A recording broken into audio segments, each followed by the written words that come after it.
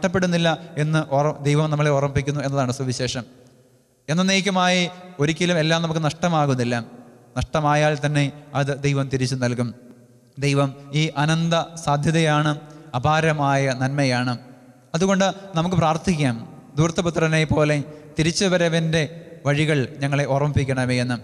ദൂർത്തപുത്രനെ പോലെ സുബോധമുണ്ടാകുവാനായിട്ട് എനിക്ക് കഴിയണമേ എന്ന്. മാത്രമല്ല ഉറച്ച തീരുമാനത്തോടു കൂടി വേണം എനിക്ക് ദൈവത്തിലേക്ക് തിരിച്ചു വരാൻ. ഇനി ഒരിക്കലും ഇടറാതിരിക്കുവാൻ. ദൈവത്തിൽ നിന്നും അകലുവാനുള്ള ഏഴ് വഴികൾ ദൈവത്തിലേക്ക് അടുക്കുവാനുള്ളതും ഏഴ് വഴികൾ. നമ്മൾ വീണ്ടും കണ്ട് ആദ്യം മുതൽ ഓർമ്മിപ്പിക്കുകയാണ്. ഒന്നാമത് നമ്മൾ കണ്ടത് വിഭജനത്തിന്റെ സ്വാർത്ഥതയാണ് പാപത്തിന്റെ ആരംഭം. രണ്ടാമത് മറവിയുടെ ദൂരം സ്നേഹത്തെ സ്നേഹത്തിൽ നിന്നും അകന്നു പോകുന്നത് പിന്നീട് മൂന്നാമത് നാശത്തിന്റെ ധൂർത്ത് അതിന്റെ സുഖങ്ങൾ നിരാശ്രയത്തിന്റെ ക്ഷാമകാലം നിലനിൽപ്പിന് വേണ്ടിയുള്ള സന്ധി അസ്തിത്വബോധമില്ലായ്മയുടെ ശൂന്യത വഴിമുട്ടുന്ന ജീവിതം. ഇങ്ങനെ ഏഴ് പടികളിലൂടെയാണ് നമ്മൾ ദൈവത്തിൽ നിന്നും അകന്ന് തകർച്ചയുടെ ഏറ്റവും താഴത്തെ തട്ടിൽ നിൽക്കുക. വീണ്ടും ഉയർച്ചയ്ക്ക് വേണ്ടി ഏഴ് വഴികൾ സുബോധമെന്ന കൃപ ഒന്ന്. രണ്ട് ജീവന്റെയും സമൃദ്ധിയുടെയും സ്മരണ ദൈവത്തിന്റെ സന്നിധിയെക്കുറിച്ച്. മൂന്ന് തെറ്റുകളുടെ തിരിച്ചറിവ് നന്മതിന്മകളുടെ ബോധം. നാല് മാനസാന്തരത്തിന്റെ തിരിഞ്ഞു നടപ്പ് അഞ്ച് സ്നേഹത്തിന്റെ സ്വീകരണം.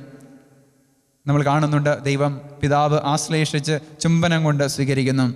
ആറ് അയോഗ്യതയുടെ സ്ഥിരീകരണം. ഞാൻ പാപിയാണ് കുറവുകളുള്ളവനാണ് എന്ന എളിമ. ഏഴാമത് പുത്രത്വത്തിന്റെ അല്ലെങ്കിൽ പുത്രീസ്ഥാനത്തിന്റെ പൂർണത. അവിടെ വിശുദ്ധിയുടെ വസ്ത്രം ദൈവം എന്നെ അണയിക്കുന്നു. അധികാരത്തിന്റെയും അവകാശത്തിന്റെയും മോതിരം എന്നെ അണയിക്കുന്നു. ആഹ്ലാദത്തിന്റെ തീന്മേശ എനിക്ക് മുമ്പിൽ ഒരുക്കുന്നു. ഈ ദൈവത്തിന്റെ സുവിശേഷത്തിലേക്ക് കടന്നു പോകുവാനായിട്ട് നമുക്ക് പ്രാർത്ഥിക്കാം.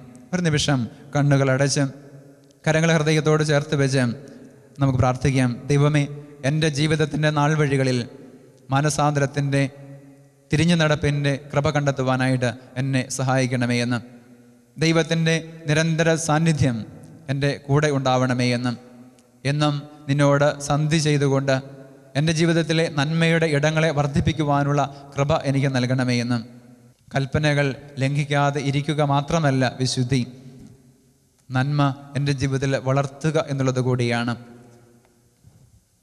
ദൈവം നമ്മളെ ഓരോരുത്തരെയും സമൃദ്ധമായി അനുഗ്രഹിക്കട്ടെ.